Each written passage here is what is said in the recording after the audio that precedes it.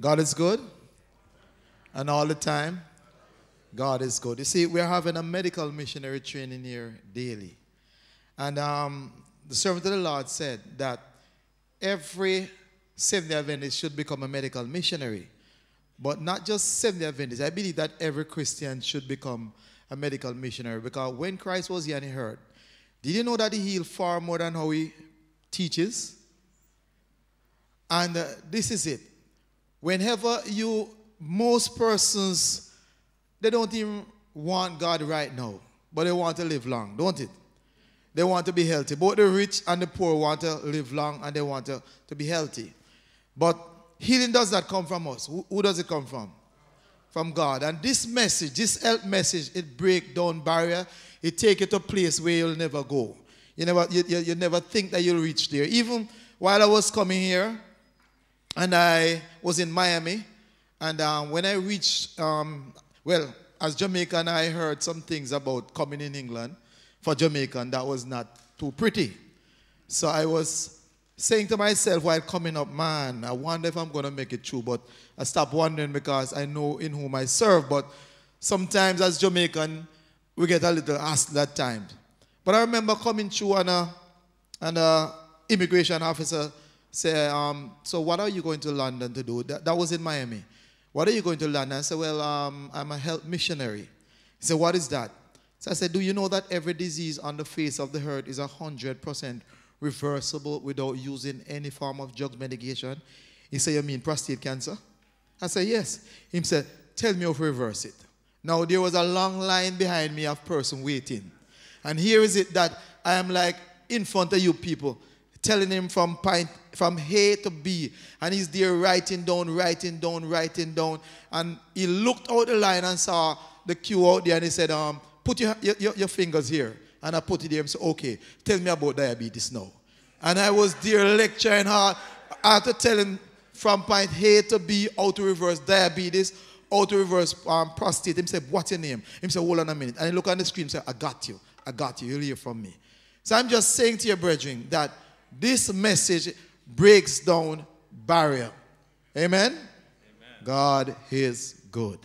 Amen. Amen. Let us pray. We're praying. Father, we thank you for the opportunity to come before your children once again. We ask, Lord, that you hide me behind you, that your words will be heard and high. These are the things we ask in your Son Jesus' name. Amen. Oh, brothers and sisters in Christ, I want to let you know that we have what?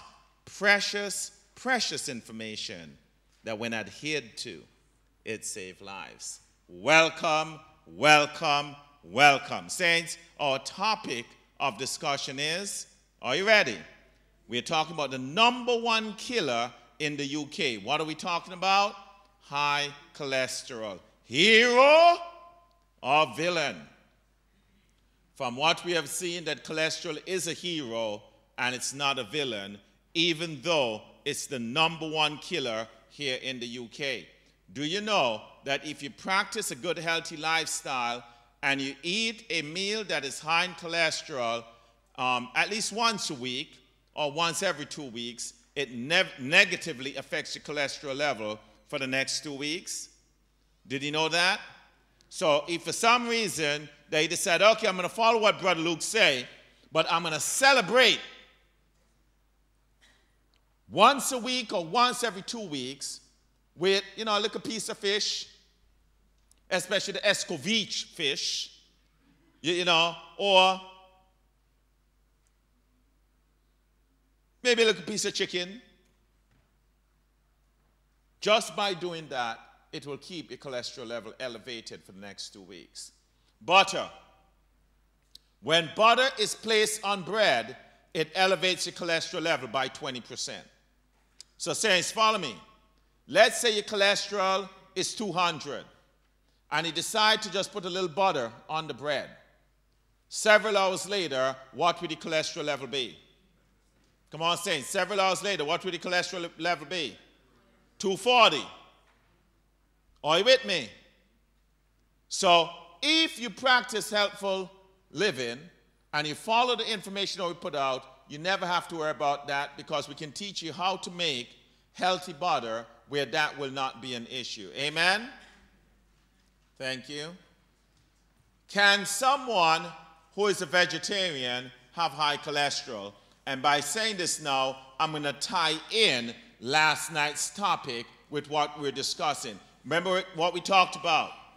Come on, saints. Remember, come on, saints. Remember, we talked about does, come on, avocado, does zabuka, does butter pear, what are we talking about? Avocado. Does it have cholesterol? The answer is no. Can it increase the cholesterol if you abuse it? The answer is yes. We're going to explain that to you. Does coconut have cholesterol? The answer is no.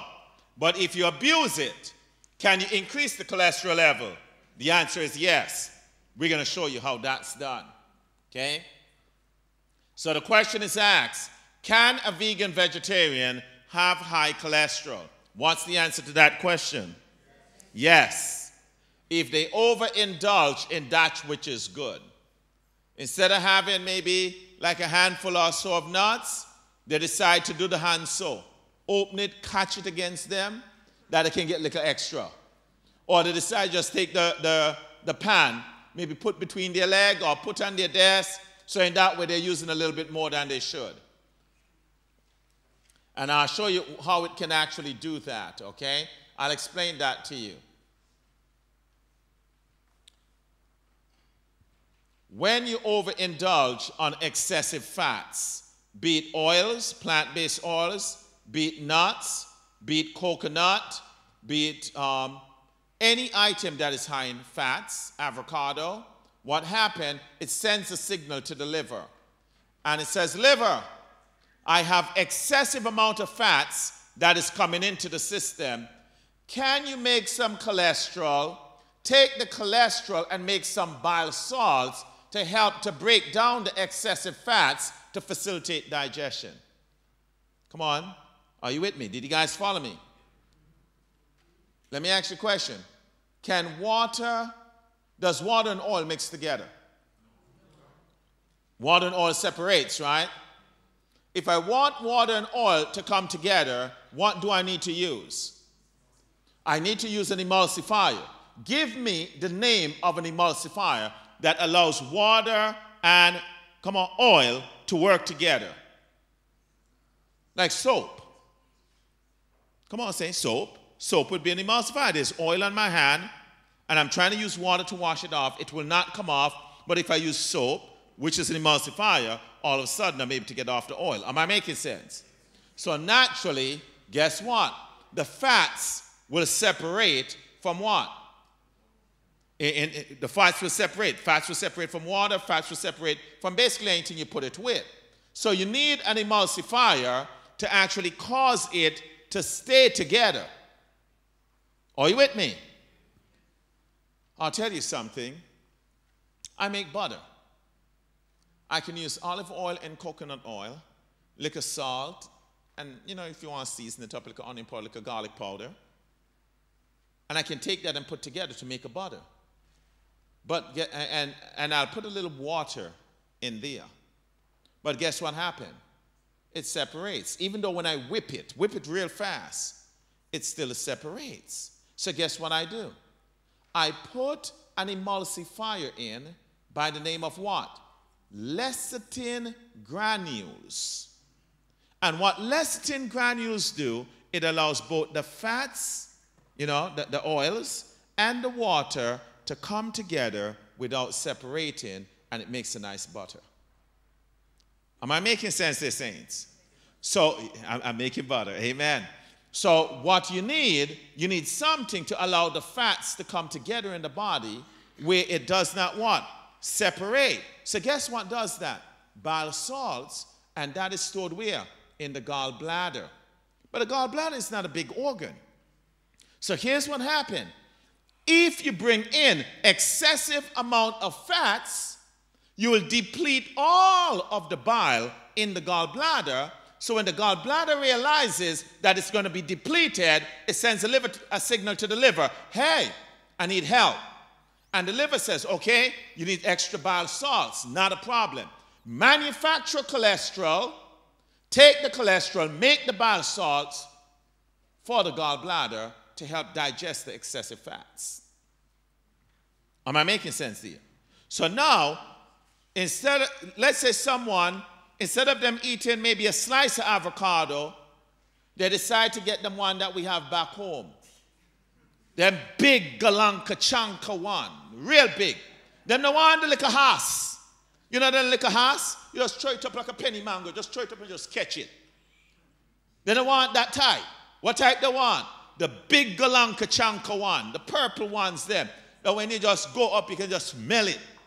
They want to just cut. Some of them, they're so nice. You just see the fat just to come out of them, nice and fat. When they spread, you just see the juice just running down your side of the mouth. Mercy. So follow me here. When instead of them eating the small little house one, they want the big nice one that grows in the Caribbean, the big galanka chanka. And now instead of eating maybe just a slice, they say, boy, we can just deal with the whole case. So they just eat off the whole thing. And maybe not even just eat off one. They're going to lick a second one because they're in the heart of the season. And then guess what happened now? Too much fats for the body to handle all at once. So immediately now, what does the body have to do? It has to now, the liver now, produces what? Cholesterol. Take the cholesterol, make bile salts, send that to the liver now, send that to the gallbladder, that it can actually use that as a means of actually breaking down and digesting the excessive amount of fats that you would have ingested by eating too much of a good thing. Am I making sense there? Is that clear, saints? So now, does avocado have cholesterol? Come on, does avocado have cholesterol? No, but avocado has what? Fats. It is high in fats. Fats and cholesterol, two different things. But if you abuse fats, excessive amount of fats can cause an increase in cholesterol even though the item does not have cholesterol. Am I making sense, saints? So when you have individuals that say avocado have cholesterol, they're wrong. Avocado has what? No cholesterol. Coconut has what? No cholesterol. What coconut has? It is high in fats, and excessive consumption of fats will cause the liver to produce ex, um, additional cholesterol to make the bile salts to help with the breakdown of the excessive fats. If that's clear, you say amen. Good. Different things can cause an increase in cholesterol. Stress. You remember we talked about what the, um, what the cholesterol is good for? We talked about cholesterol is actually used to make the hormone that fight what? Stress. So if someone is on a tremendous amount of stress, even though they're total plant-based pasta, they eat no fish, chicken, turkey, beef, or pork, shrimp, lobster, conch crab, butter, eggs, ice cream, cheese, or animal milk. They consume none of those items, but they're under tremendous amount of stress. Guess what happened? The body now say, listen, too much stress, make the hormone called what? Cortisol to help break down or deal with excessive stress. So all of a sudden now, you see that, that hormone? That hormone is being used by the body to help control your stress. But just because you're under tremendous stress, you will cause the liver to manufacture extra cholesterol, and that cholesterol will continue to climb even though you're consuming no flesh.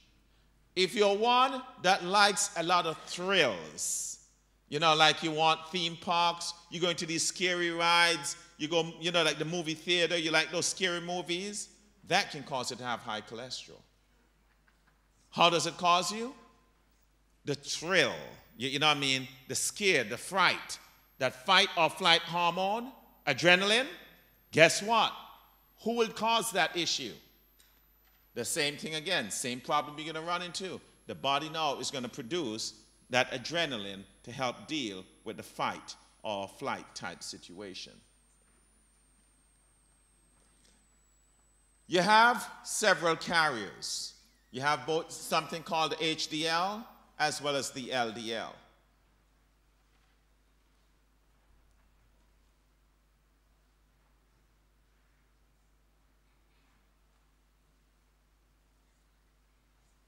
Another item that plays a major role with cholesterol is triglycerides.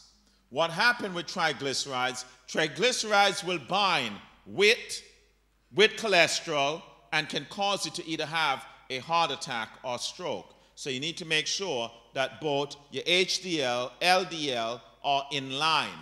Now, Saints, I kind of skipped over the values, but I'll give you the values. But you guys do a little conversion, a little different conversion over here. So I'll just give you the US values, and then we can do a conversion with that. For the HDL for male, we want the HDL for male to be at least 40 and above. For women, you want it to be at least 50 and above. We found that women have a higher risk of heart disease than men, and as a result, they need a little bit more protection. For male now, we found that when the HDL, which is considered quote unquote good cholesterol, gets about 70, it actually protects the heart. Now let's go over to the LDL now. With the LDL, you want that to be 130 and below. However, for optimum health, you want that to be less than 90. Now, saints, follow me here. If the LDL was bad, like how everybody say it is, it should have had a zero value. Am I making sense here? If LDL is bad, the value of LDL should have been what, Elder? Zero. The fact that it has a value lets you know that there's a role it plays in one's health. Based on the Framingham study, they found that when cholesterol level is 150 milligrams per deciliter and below, there have never been one recorded incidence of a heart attack. Are you with me, saints? This is the number one killer in the UK. This very topic we're talking about. This is the number one killer. But guess what?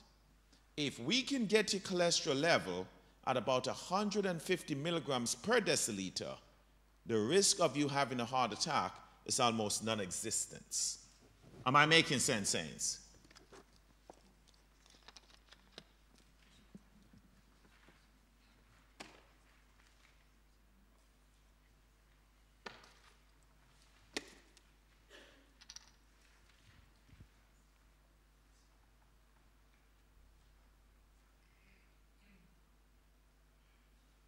What is man's best food? Grains, fruits, nuts, and vegetables constitute the diet chosen for us by our Creator. These food prepared in as simple and natural a manner as possible are the most helpful and nourishing. In grains, saints, I love these quotes. Listen to this quote. In grains, fruits, vegetables, and nuts, are to be found all the food elements that we need. Don't let anybody ever fool you and tell you that a plant based diet is not complete. What diet is not complete is an animal based diet because whatever nutrients you're getting from an animal, you're getting it secondhand. The nutrients go to the eater. Always remember that. Whoever eat first they get the majority of the nutrients. Okay? Always remember that. If you remember that, you'll not be disappointed. Let me give you some statistics here, and you'll be amazed. And I'll tell you a story about this statistic, this very first one. I was in Antigua, and one of our first elders heard of this statistics. He got so excited, he began eating about a bag, about two to three bags of nuts like this every day. His cholesterol went to the roof and he had a heart attack, almost died. He called me, I went to his home and I sat him down. And I says, Oh, blessed be the name of the Lord. I said, Elder, listen. When it talked about vegetarians who use nuts at least five times a week reduce the risk of heart disease by 50%, it didn't mean that you go ahead and eat two to three or even four bags of nuts every day. It just means that you do what? A closed fist upside down is all you take for breakfast and lunch and nothing for supper. He says, You're kidding me, Brother Luke. I said, Kid you not. I said, Listen to the counsel. It says, care should be taken, however, not to use too large a portion of nuts. That's the counsel. But he misinterpreted the research and thought that the more nuts you eat, the better it would be for you, when in actuality, it actually caused him to have a heart attack. That's how two individuals could be eating the same thing, but because of the way they are consuming it, it could be the difference between life and death. Same item, used wrongly, can cost you your life. They did the test with 34,000 um, California Adventists for 25 years, and this is one of the conclusions they came to. I love this test, this research that I'm about to share with you. Um, it's one of the best um, research that I've seen out there. And listen to what it says. Dr. Caldwell Esselstyn Jr., he did an 11-year study. He st studied the effects of whole foods, plant-based diet on people with established coronary disease with little cholesterol lowering medication. The goal was to reduce blood cholesterol level to 150 milligrams per deciliter or below. He had a total of about, I think it was 24 patients he started out with. And by time he outlaid, does just begin to outline the details of the program. No fish, chicken, turkey, beef, pork, and stuff like that. Someone said to him, Hold tight, daddy. Hold tight. Don't want to be ya. And it says, They're gone. They didn't want to go on that type of program. But praise God that 18 of that 24 decided to hold on. Between those 18 people, they had about 49 different coronary events, be it angina, bypass, heart attack, balloon, you name it. They had it all. Okay? The average cholesterol level was 246 milligrams per deciliter. According to the American Heart Association, they would like to see a cholesterol less than 200 milligrams per deciliter. However, between 150 and 200, people still have heart attacks. But based on the Framingham study, individuals that get their cholesterol level less than 150 milligrams per deciliter have never once had any recorded incidents of a heart attack. Are we making sense here, saints? So, what would your goal be to do? Get that level below 150 and below because there have never been one recorded incidence of a heart attack. Let me share this with you. Came here, met a young man Young man, um, I think he's in his 40s, early 40s, something like that. Three strokes, blood sugar to the roof, pressure to the roof, cholesterol to the roof. We put him on the program. Says within a couple days, the gentleman off of all his diabetic medication. Let me ask you a question. If I can bring him here to give a testimony for you when I do diabetes, how many guys would like to hear testimony from someone who has been through the storm? Amen. I'm going to ask that young man to see if he can just, whatever he can do with his schedule, cut it short and be here tomorrow evening when we break loose this thing on diabetes. Because, Saints, let me tell you something. When we work with people who are diabetic, in 10 days or less, by God's grace, they give up all that drug medication. Saints, let me tell you, diabetes is so easy to reverse that I can work with it anyhow you want. Sunny side up, sunny side down, sunny side all around. How do you want it?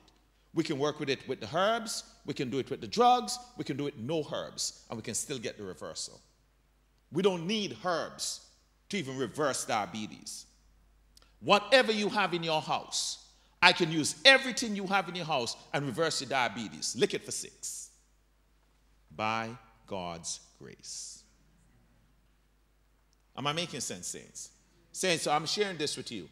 Tomorrow night, whatever you do, I don't want to see any of these seats empty. Because by time the lecture is finished, you'd have regret that you didn't bring your friends or family members. And you need to use the principle that we shared. Two friends, two family members. Each person that is here bring two friends, two family members. If you do that, what a blessing you'll offer to your friends. This, this topic that we're dealing with right now is the number one killer in the UK. And ah, look here. You guys didn't even bring your friends. Follow me. Look at this. What did he propose? What changes? They're going to use whole plant foods, eaten whole. They're going to avoid what? They're going to avoid oils, and they'll be placed on a plant based diet. Okay? After five years, he got some research from a gentleman named T. Colin Campbell that show that even a little milk will cause the problem. So he says, okay, everything gone. Milk, yogurt, everything gone. Let me show you what happened. What's the result? After, after 11 years, all 18 patients still there. One of the patients cheated and said, Look, Mawama, meat kind. He went out, had a heart attack, and he turned around and run, come right back. And let me tell you something. Even after he come back, look at the average cholesterol of all of them. Dropped to 132 milligrams per deciliter, less than 150. Based on the research, what does it say? When your cholesterol level gets below 150, your risk of having a heart attack is virtually zero. Yes, please. Amen. Thank you. Oh, blessed be the name of the Lord. I had a lovely young lady. She did the conversion for me. So 150 milligrams per deciliter is equivalent to 3.879 millimoles. Okay? So basically, you want your numbers to be at what? 3.879 millimoles and below. If you get it at that level, by God's grace, never once um, have they had any documented cases of heart attacks. Is the, is, my dear, is the conversion um, 38, 38.9 or something like that? What is the conversion? Is it 38.9? What is it?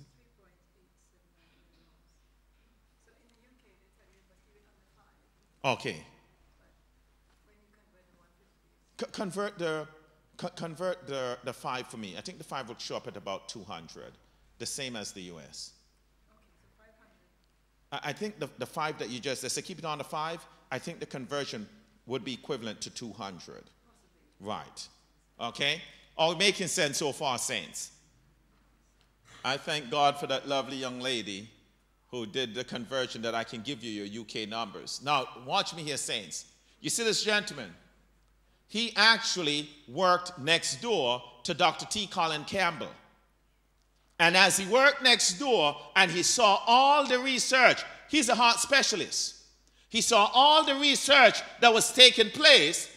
He had a heart attack. You all know what his cholesterol level was? 156 milligrams per deciliter, six point above the limit. But still, according to what the American Heart Association is saying and what they're saying here in the UK, he was within the normal limit. He was safe. But yet still, he had a heart attack. Being in the medical industry, he says, Tell you what, there's nothing that conventional medicine can do for me. That's what he said. Huh? Okay, they did the conversion for me. Thank you, ladies. The 200 milligrams per deciliter is equivalent to 5.172 millimoles. Okay? So below, the US is saying below 200 milligrams per deciliter, and the UK is actually saying below 5 millimoles per liter. Okay? Which means that the UK is slightly a little bit more conservative, but yet still it needs to be less than what? 150 milligrams per deciliter or 3.879 millimoles per liter. Am I making sense so far, saints? Okay, follow me here. What did this gentleman do? Says, I want to tell you what he did. He got on the plan. He got on the plan. He went to what? Whole plant foods eaten whole. He became 100% vegan. 100%. He took, and listen what he did. He took what? No cholesterol lowering medication. Says, follow me. If you have heart disease, if you have high cholesterol, at the current rate you're at right now, in order for you to get a different result, you have to do something different. If you keep on doing the same thing over and over, the result is the same.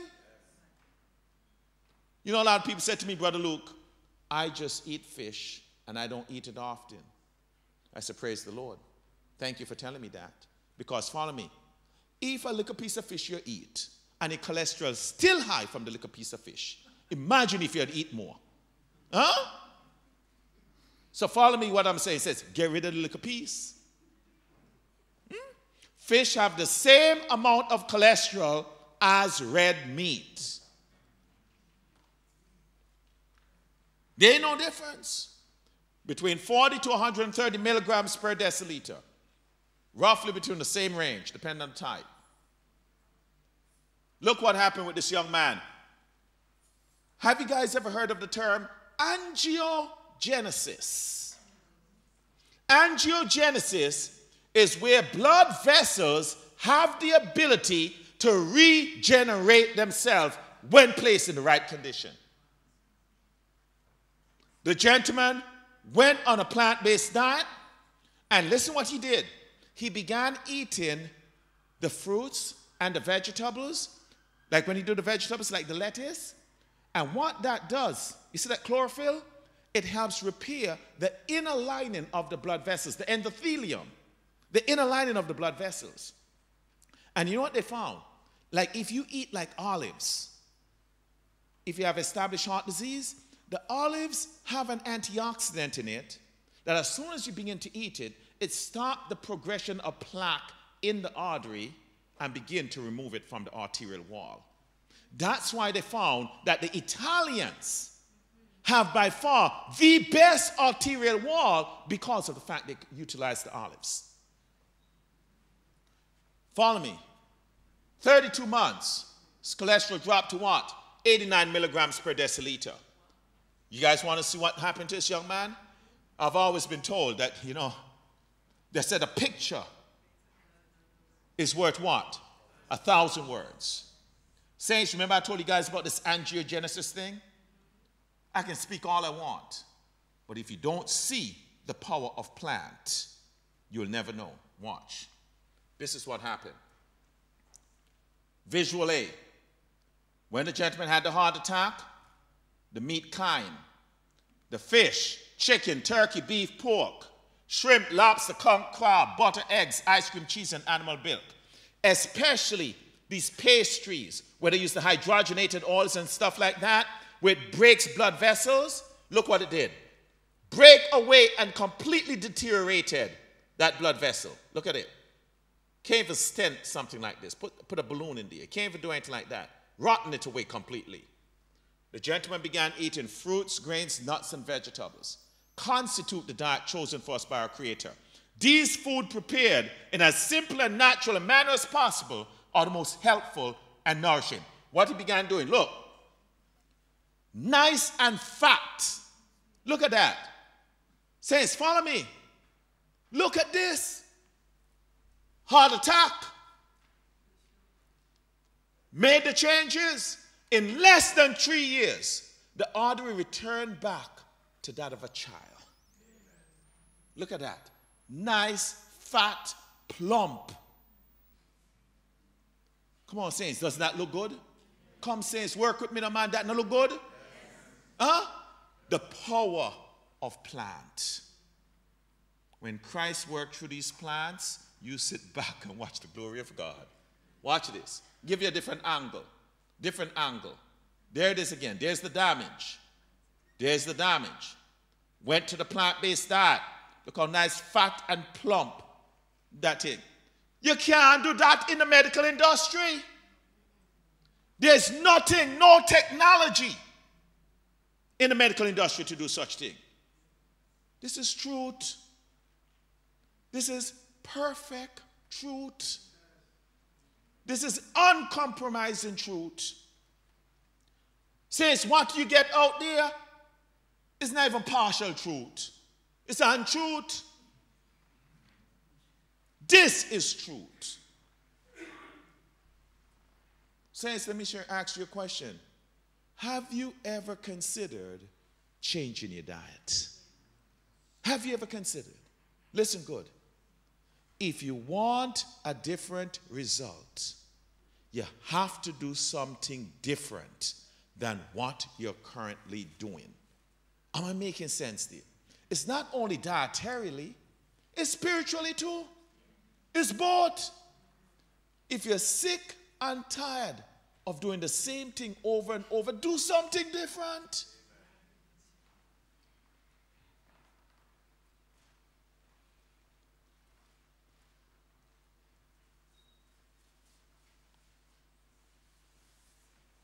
Normally, I'll have Sister Nash tell her own story. But she's not here tonight, and I know she has given me permission to tell her story. So, Sister Jovan, please forgive me as I tell the story. Amen. This is Sister Natalie's and Sister Jovan's dad. At the age of 66 years, for 32 years, he was total vegetarian, consumed no flesh items of any source. What he consumed was cheese. He loved cheese. He used milk, cheese, eggs, butter, and ice cream. This is what Sister Nash put up there. I have to put the disclaimer up because, you know, Sister Dear. Amen? I got to make sure I tread softly, tread the right way. Am I making sense, Elder Daniel? And Sister Nash said that this was the diet of Daddy.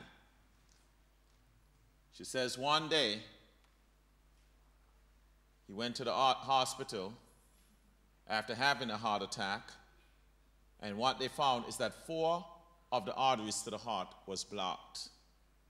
While he was there at the hospital, he had a second heart attack.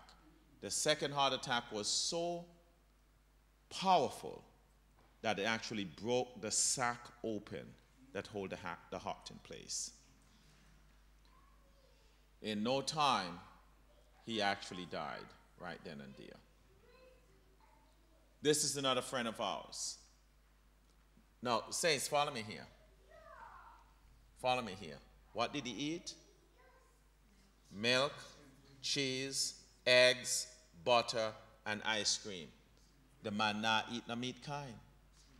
He's not eating any meat kind. But guess what? You saw the result. Saints, some of you guys may not be eating any flesh, but you're eating the byproduct. Same thing.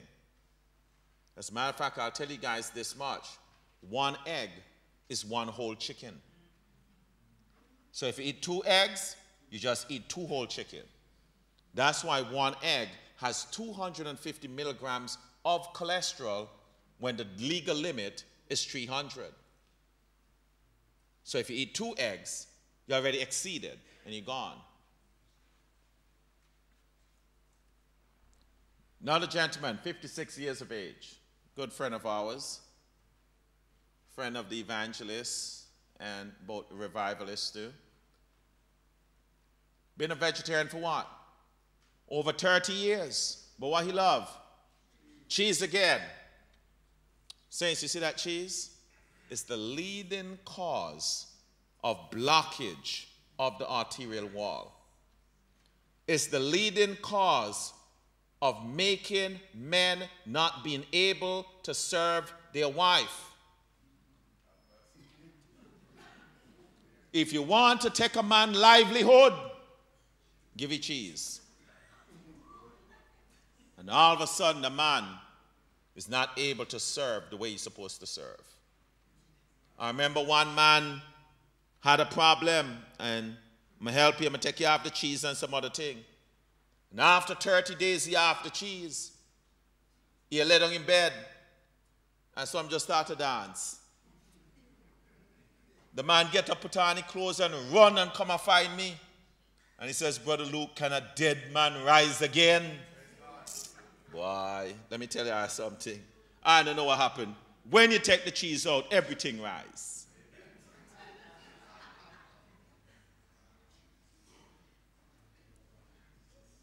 Because of the cheese, arteries to the heart was blocked. His heart had dropped down, the heart function dropped 25 to 30 percent. The man can barely walk from here to a few of the chairs. He decided to tighten on his diet. After he tightened up his diet, guess what happened? He decided also to not to take any cholesterol lowering medication. Saints, in no time, when they went back, the heart functioned back to normal. He's alive today. Elder Daniel, you remember you saw him the other day when we were in Trinidad?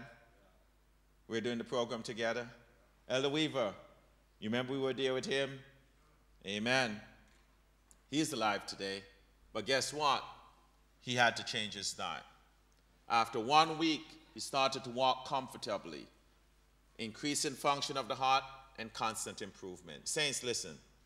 All I'm asking for is the fish, the chicken, the turkey, beef, pork, shrimp, lobster, conch, crab, butter, eggs, ice cream, cheese, and animal milk. That's all, just those few little items.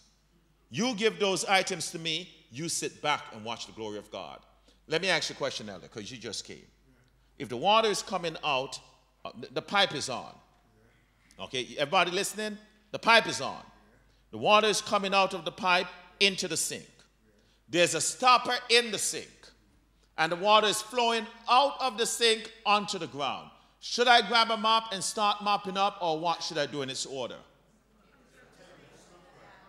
Okay, take the stopper out. What's next?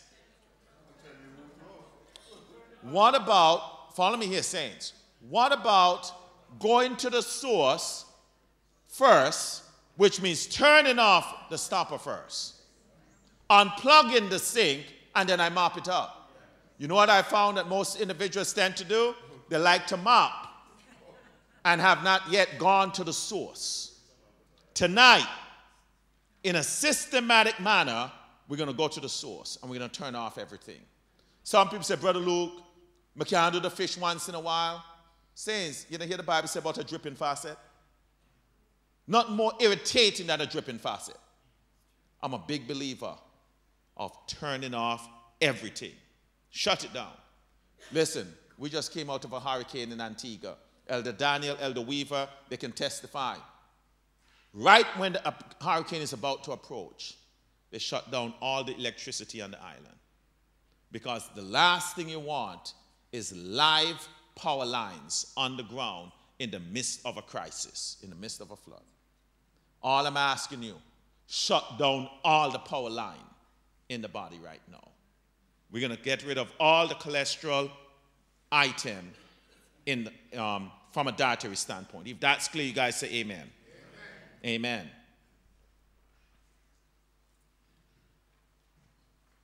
The Bible says, whether therefore ye eat or drink or whatsoever ye do, do all to the honor and glory of a holy God.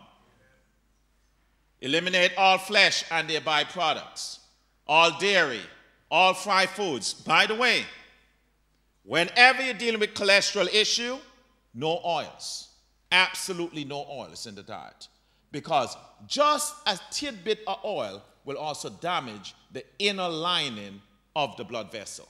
No oil. We're going oil free. No sugar. Sugar increases triglycerides, as well as people who like to juice beet juice or carrot juice increase the triglyceride. Triglycerides combined with cholesterol causes a heart attack or stroke. All caffeine has to go. Remove all processed and refined item, including, listen to this, gluten related item. No wheat, barley, rye, and we're going to pull oats. The reason being, we found that these foods that are not organic, the genetically modified foods, they do increase the LDL particles that can actually cause blockage of the arterial wall. So you cannot go to Tesco and these other places and buy the pastries and the bread and the different things. We're going to remove those items. Am I making sense, saints? Because they do increase the LDL particles. olives. It helps remove the plaque from the arterial wall. increase your fiber, fiber rich food, your grains, your brown rice, your oats, you know, all those items, fruits, grains, nuts, all those good things we're going to increase. We're going to eliminate all the Western diet. Saints, almost every corner I go, I think I thought I was in the US. Same type of things that affects the arteries in the US. Same things you guys have over here eating. My recommendation, let's give those items up. You see those milkshakes and the ice cream?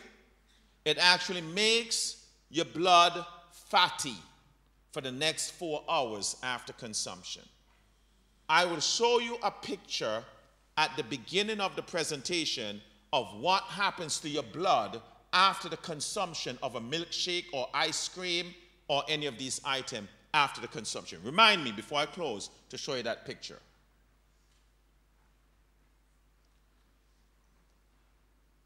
Saints, I'm going to pause right here. I'm going to pause right here. You're going to have to give me another grace. You got to come back tomorrow for the rest because I really want to give you the healing. I don't want to rush through the healing. And I want to give you the specific treatment to actually deal with this. And here's what I'm going to do the handouts. If you grace me, I'm going to give you handouts with all the notes that you'll be able to systematically put things together. And it gives you an opportunity to bring a friend again tomorrow. As soon as I'm finishing, finished with this, I'm going straight into diabetes. Okay? So tomorrow, I'm going to go ahead, I'll go finish up this, go straight into diabetes, and I'll hand you a handout on this topic, and I'll tell you what, you'll be amazed when you see how we put this thing together. Now, Saints, let me ask you, was the information helpful? Are you guys beginning to see the power of plant? Amen. I just wanted to come and see, see my friend. Uh, let me just ask my friend to come and say hi to God's children. Elder, just come up and say hi to God's children. While he's coming, allow me to quickly show you what happens to that blood vessel when you eat the shake. You guys want to see this? And you guys can go right ahead and we're going to do the theme song.